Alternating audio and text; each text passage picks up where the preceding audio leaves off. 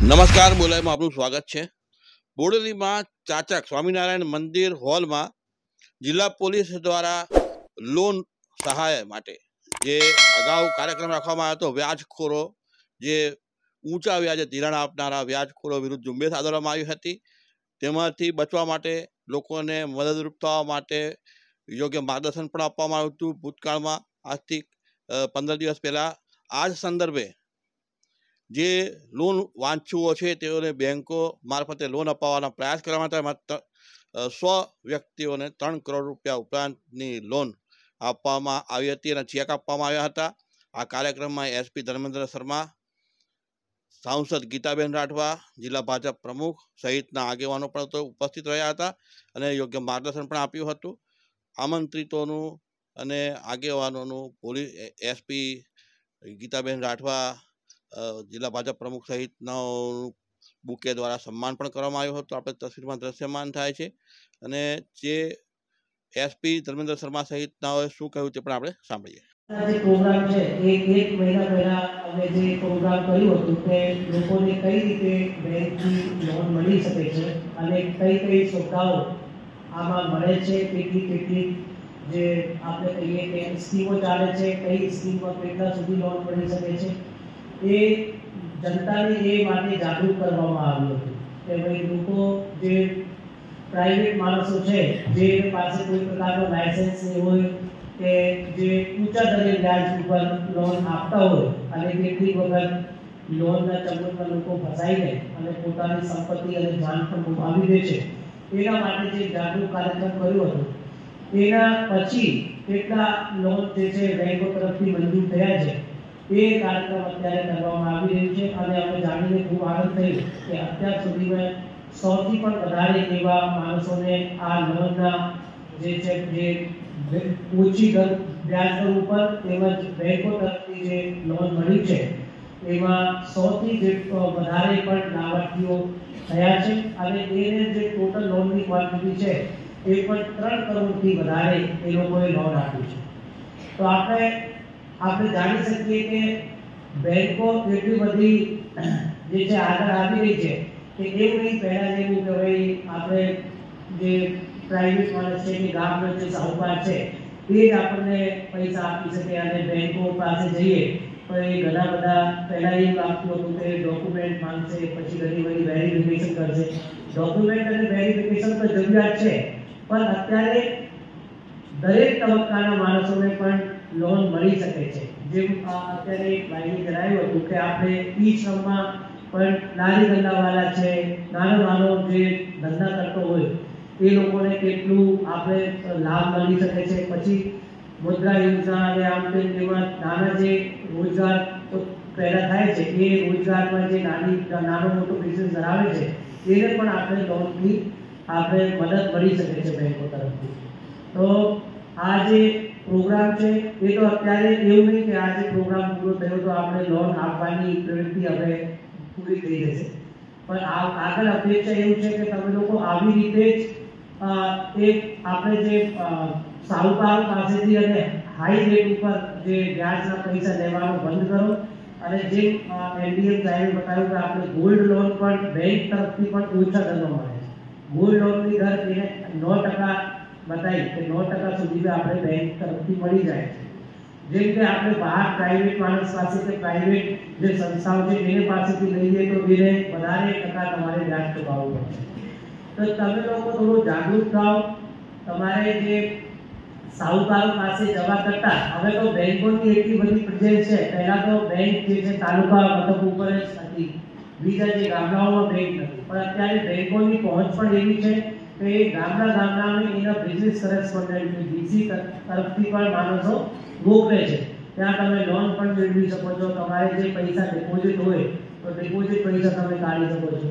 તો એટલી સુવિધા હવે વધી ગઈ છે. પેનેટ્રેશન બેંકોનો પણ ગામ ગામ સુધી પહોંચી ગયું છે. અને એ પોલીસ તરફથી જે આ અભિયાન ઉપાડવામાં આવ્યું છે, છેલ્લા લગભગ ડેઢ મહિનાથી આ ચાલે છે તો એમાં અમને ખૂબ આનંદ થયો કે લોકો અત્યારે બેંક તરફ જાય છે અને બેંકો પણ કેટલા સેન્સિટિવ થઈ ગયા છે કે એ પણ લોકોને જરૂરી માર્ગદર્શન આપીને અને એને જે લોન પ્રોસેસિંગ કરવાની હોય કઈ રીતે થઈ શકે છે એ પણ કરાવી રહ્યા છે.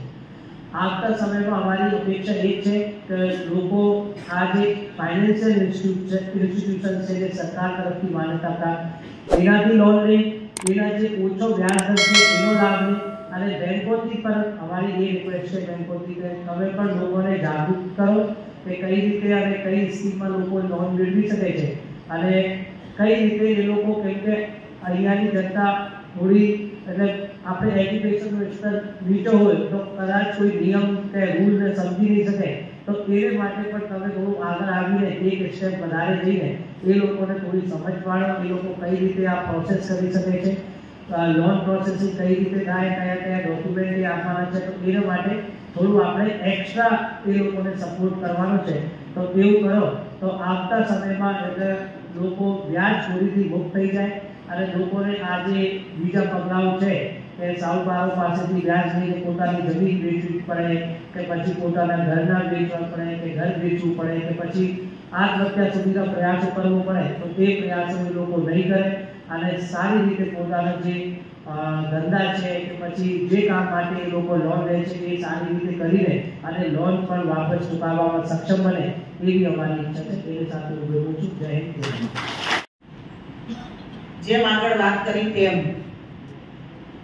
ગઈ ચાર તારીખથી, આજે ચોથી તારીખ, એક મહિનાથી સતત દરેક તાલુકાઓમાં આવા લોક દરબારો કરીને જે તમને પડતી મુશ્કેલીઓ, જે ખાનગી વ્યાજ ધીરતા લોકો તમને ખૂબ તકલીફ પડે છે. એ તકલીફને દૂર કરવા માટેના એક આ સરસ, સરળ આ એક અભિયાન છે. બધાએ તાલુકામાંથી આપ સૌને સાંભળીને આજે આ જિલ્લા કક્ષાનો જે કાર્યક્રમ છે, એમાં તમને આજે બેંકો દ્વારા અને બેંકોની સાથે સાથે પોલીસના સહિયારા સાથથી આજે તમને સૌને અહીંયા ચેક વિતરણ કરવાના છે. જેમ ઉપેન્દ્રભાઈએ કીધું કે આજે લક્ષ્મી તમારા ઘરે આવવાની છે, તે તમારા ગ્રુપમાં આવવાની છે. આપણે સૌ જાણીએ થોડા સમય પહેલા નર્મદા જિલ્લામાં પણ આવો જ કાર્યક્રમ થયો. કે ત્યાં એ વિસ્તાર હોવાથી મારે જવાનું થયું. અને ગુજરાત સરકારના માનનીય ગૃહમંત્રી હર્ષભાઈ સંઘવી ત્યાં પધાર્યા. એમણે કીધું હતું કે વર્ષો પહેલા જે ખાનગી, જે લોકો છે, કે ખાનગી બેંકો હોય, કે ખાનગી પેઢી જે ચલાવતા લોકો છે, એની પાસેથી આપણા વડવાઓ વ્યાજ સાથે પૈસા લેતા. એ પછી ગેરંટી માટે કોઈ જમીનનો ટુકડો હોય, મારી બહેનોના વાલા ઘરેણા હોય કે મકાન હોય, આવી મિલકત આપણે ત્યાં ગેરવે મૂકતા હતા કે આપણે લખાણ આપતા હતા. અને એનું વ્યાજ ચક્રવૃદ્ધિ વ્યાજ વ્યાજ કરતા કરતા આપણને આપણી વાલી રકમ એમના ત્યાં મૂકી દેવી પડતી હતી. એ હાલત જે તે વર્ષો પહેલા હતી. તો આપણા યશસ્વી વડાપ્રધાન નરેન્દ્રભાઈ મોદી સાહેબ અને ગુજરાતના મુખ્યમંત્રી ભૂપેન્દ્રભાઈ પટેલ સાહેબ અને ગૃહ વિભાગ દ્વારા આ એક સરસ મજાનો આપણને મદદરૂપ થાય એવો એક કાર્યક્રમ આપવામાં સાથે સાથે ઘણી બધી યોજનાઓ થકી આપણને તમને બધાને આત્મનિર્ભર બનાવવા માટે ખાસ કરીને મારી બહેનોને જે બહેનો મંડળો ચલાવે છે. એ સખી મંડળ હોય કે સ્વ સહાય જૂથ હોય. આ બહેનો માટે પણ ખૂબ સારી યોજનાઓ અને સરસ યોજનાઓ માનનીય ગુજરાત સરકાર અને કેન્દ્રની સરકારે આપણને આપી છે. કે તમે પોતે આત્મનિર્ભર કેવી રીતે બનો? કોઈની પાસે હાથ લાંબો કરવા ન પડે, એના માટે દર બે ત્રણ મહિને આવા કાર્યક્રમો થતા હોય છે. મારી બહેનોને કોઈકને પાંચ લાખ કોઈકને દસ લાખ કોઈક સખી મંડળને પંદર લાખ આવા અમે ચેકો કાર્યક્રમ કરીને આપતા હોય છે. આ એક હેતુ, એક જ હેતુ છે કે તમે બધા પોતે કોઈ પણ નાનો મોટો ધંધો કરો અને ધંધા થકી તમારા દીકરાનો અભ્યાસ કરાવો, તમારા પરિવારનું ગુજરાન વ્યવસ્થિત ચાલે, એના માટેનો સરસ કાર્યક્રમ છે. આ પૈસા તમે સરકાર કાયદો અને વ્યવસ્થા સિવાય પણ સમાજને સ્પર્શતા જે પ્રશ્નો છે, છેલ્લામાં છેલ્લી વ્યક્તિ સુધી જે અસર કરે છે, જેનાથી સમાજમાં અસમાનતા ઊભી થાય છે. કે કોકનો દીકરો, કોકનો પતિ, કોકનો ભાઈ અકાળે મૃત્યુ ન પામે, વ્યાજના ચુંગાલમાં ફસાઈને એનું જીવન ન ટૂંકાવે, એટલા માટે આ એક સમાજ જાગૃતિની અને લોકોને ઘર બેઠા ધિરાણ મળે, લોનની સુવિધા ઉપલબ્ધ થાય તે માટેની આ એક ઝુંબેશ ચાલી રહી છે. અને એમાં બોડેલી ખાતેના સરસ કાર્યક્રમમાં અગાઉ મિશન મંગલમમાંથી અને લીડ બેંક મેનેજરે જે આપને સમજાવ્યું કે ભાઈ આટલી આટલી યોજનાઓ સરકારની છે એનો લાભ લો અને માર્કેટમાંથી ઊંચા વ્યાજે જે કંઈ વ્યક્તિઓ ધીરધાર કરે છે એનાથી આપ દૂર રહો. અહીંયા ઘણા બધા વડીલો બેઠા છે. એમને જોયું હશે કે આજથી પંદર વીસ વર્ષ પહેલા બેંકમાં જવું હોય, તો આપણને એમ થતું કે આપણું ખાતું ખુલશે કે કેમ? લોન તો દૂરની વસ્તુ રહી લોન કદાચ ગામમાં એક વ્યક્તિને મળે તો નસીબદાર છે એવું કહેવાતું. આદરણીય મોદી સાહેબ, વડાપ્રધાન બન્યા પછી જનધન ખાતાઓ ખોલે. ત્યારે પણ ટીકા કરવામાં આવી કે જનધન ખાતાઓ કેમ? આનાથી શું ફાયદો? પણ પછી દરેક યોજનાઓ ડાયરેક્ટ બેનિફિટ ટ્રાન્સફર દ્વારા સીધા લાભાર્થીના ખાતામાં. આગળના વડાપ્રધાન રાજીવ ગાંધીએ એટલે સુધી કહ્યું કે દિલ્હીથી નીકળેલો એક રૂપિયો ગામડા સુધી પહોંચતા પંદર પૈસા થઈ જાય, પંચ્યાસી પૈસા વચ્ચે ખવાઈ જાય આ સરકારમાં ત્યાંથી નીકળેલો રૂપિયો સીધે સીધો લાભાર્થીના ખાતામાં પહોંચે છે. અને એ ડાયરેક્ટ બેનિફિટ ટ્રાન્સફરના લાભથી દરેક લાભાર્થીને લાભ મળે છે. તમારે મકાન બનાવવું હોય એક લાખ વીસ હજાર પ્રધાનમંત્રી આવાસ યોજનામાં લાભ મળે છે. એની સાથે એકવીસ હજાર રૂપિયા એ મકાનમાં મજૂરીના મળે છે. વીસ સરકાર, કાયદો અને વ્યવસ્થા સિવાય પણ સમાજને સ્પર્શતા જે પ્રશ્નો છે છેલ્લામાં છેલ્લી વ્યક્તિ સુધી જે અસર કરે છે, જેનાથી સમાજમાં અસમાનતા ઊભી થાય છે. કે કોકનો દીકરો, કોકનો પતિ, કોકનો ભાઈ અકાળે મૃત્યુ ન પામે. વ્યાજના ચુંગાલમાં ફસાઈને એનું જીવન ન ટૂંકાવે એટલા માટે આ એક સમાજ જાગૃતિની અને લોકોને ઘર બેઠા ધિરાણ મળે લોનની સુવિધા ઉપલબ્ધ થાય તે માટેની આ એક ઝુંબેશ ચાલી રહી છે. અને એમાં બોડેલી ખાતેના સરસ કાર્યક્રમમાં અગાઉ મિશન અને લીડ બેંક મેનેજરે જે આપને સમજાવ્યું કે ભાઈ આટલી આટલી યોજનાઓ સરકારની છે લાભ લો.